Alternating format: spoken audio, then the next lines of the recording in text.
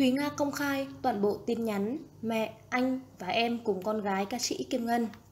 Ba tháng trôi qua, hai cái tên Ngân Nga đã gắn liền tưởng chừng như không thể tách rời. Vậy mà đùng một cái là không còn gặp mặt nhau nữa. Xảy ra sự việc đau lòng này, danh hài Thùy Nga bị một cú sốc khiến tinh thần suy sụp, tâm trạng rối bời. Bởi người nhà của ca sĩ Kim Ngân trở mặt, cảnh sát triệu tập. Vì vậy, hôm qua, danh hài Thùy Nga quyết định công khai toàn bộ tin nhắn mẹ, anh, em gái và con gái của ca sĩ Kim Ngân. Là thư của em gái Kim Ngân tên là Cà Thi. Thùy Nga thân mến, xin lỗi, bài viết này bằng tiếng Anh vì tôi không thể viết bằng tiếng Việt. Tôi không thể viết bằng tiếng Việt nên tôi phải viết bằng tiếng Anh. Vui lòng nhờ người thông thạo cả hai ngôn ngữ để dịch tôi rất nhiều lần. Cảm ơn. Tôi cảm ơn em rất nhiều. Cảm ơn đã có biệt tài giúp chị Kim Ngân. Nhiều người đã giúp chị ấy nhưng không được. Tôi xin lỗi vì vụ kiện pháp luật mà bạn đã trải qua. Nếu họ sử dụng tên giả để kiện bạn thì họ không thể sử dụng trước tòa mà họ muốn dọa bạn để bạn bỏ YouTube và để đưa bạn số tiền quyên góp cho chị Kim Ngân.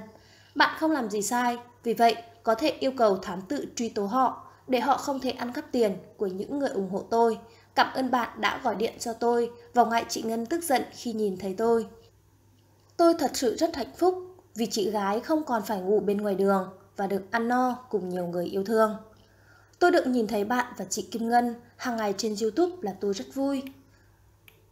Vì thấy chị ấy rất vui, trong cuộc sống chúng ta có thể chọn bạn bè hay vợ chồng, trong cuộc sống chúng ta có thể chọn vợ hoặc chồng nhưng không thể chọn gia đình. Tôi xem bạn như em gái của tôi, nếu bạn cần hãy gọi cho tôi, hãy tiếp tục giúp đỡ chị Kim Ngân nhé em gái. Với căn bệnh của cô ấy luôn bị bỏ rơi, hãy an toàn và mạnh mẽ nhé chị Nga. Tôi yêu bạn Thùy Nga. Đó là lời của em gái ca sĩ Kim Ngân. Còn đây là tin nhắn của em trai tên là Danh. Cảm ơn bạn đã giúp đỡ chị gái của tôi. Chúc sức khỏe.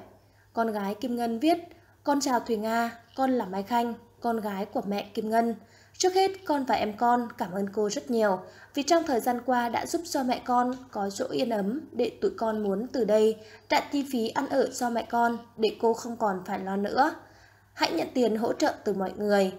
Con biết cô có ý nguyện sẽ lo cho mẹ con suốt đời, nên cô cứ tiếp tục gần gũi mẹ con như một người thân trong gia đình. Nhưng xin cô đừng quay mẹ con đưa lên youtube nữa. Mẹ con không được bình thường, nên nhiều khi chửi bới um sùm, tụi con cảm thấy rất đau lòng khi đưa lên youtube cho mọi người xem. Con cảm ơn cô rất nhiều, tất cả những chi phí cô lo cho mẹ con, tụi con sẽ hoàn trả lại. Thùy Nga nói đến đây rồi khóc nghẹn. Con gái Nguyệt Cát chạy ra, hai mẹ con ôm nhau khóc. Nhiều người đã vào bình luận.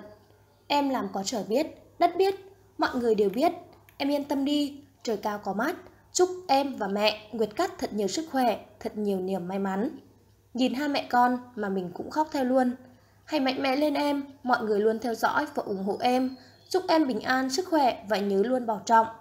Di muốn nhắn đến Nguyệt Cát, con hãy tin rằng dì và mọi người, khán giả luôn bên cạnh con và gia đình, yêu con nhiều lắm.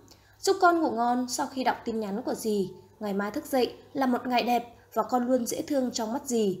Thương yêu con nhiều lắm, thương Thúy Nga nhiều, nhưng thương Kim Ngân nhiều hơn. Vì không có Thúy Nga thì Kim Ngân sẽ trở bệnh như cũ. Ở hiền gặp lành em à. Rất mong Thúy Nga trở lại để giúp đỡ Kim Ngân vì mọi người ai cũng mong chờ và nhớ đến hai chị hết.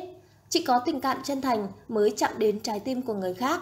Mong sớm có được clip của hai chị em trở lại Kim Ngân có phước mới được gặp Thùy Nga giúp đỡ. Còn không biết ơn tất cả mạnh thường quân nữa thì bó tay luôn. Thùy Nga đáng yêu ơi, để thời gian lo cho người khác và Nguyệt Cát em à. Thùy Nga sống chân tình thương Kim Ngân, chúc Thùy Nga vui vẻ, làm việc thiện nhé. Luôn đồng hành bên Kim Ngân, một người phụ nữ tội nghiệp.